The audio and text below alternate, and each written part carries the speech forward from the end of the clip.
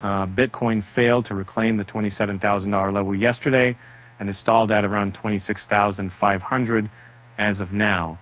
Um, the altcoins are in no better shape with minor losses coming from most larger cap ones. Chainlink is the only one with a notable price increase. Last week was expectedly less volatile aside from a brief spike on Saturday that pushed Bitcoin to a then multi-day peak of $26,400. After failing to continue upwards, BTC retraced with a KB all.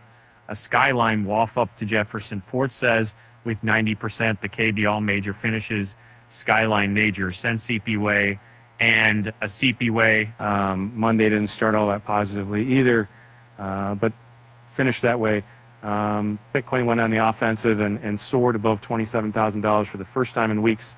It dumped shortly after but the bulls kept the pressure on and pushed the cryptocurrency to a new 20-day peak at $27,500 on Tuesday. The next few days were rather calm.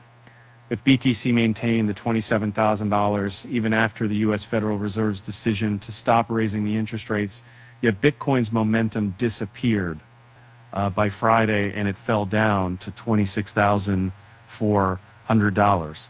It tried to bounce off by the end of the day, but failed and currently stands at $26,500. Its market cap is south of $520 billion, while its dominance over the alts is still just inches above 49%. Most altcoins are also calmer on a daily scale.